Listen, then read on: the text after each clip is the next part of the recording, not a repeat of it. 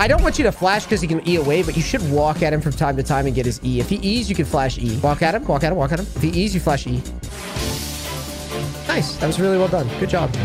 See, now look. Now get in the bush, get in the bush, get in the bush, get in the bush, get in the bush, get in the bush. Recall right now. Explain to me what's going on here. Okay, so Why- what's happening is if you try to push that wave, Tryndamere comes back in the hmm. lane and you can't really pressure him because you don't have mana and you don't have as much health. But if you back, you can see the wave is coming to you. So you're going to be able to guard the minions again and freeze again. It snowballs out of control for him. He's just going to get fucked every single time he goes to this wave.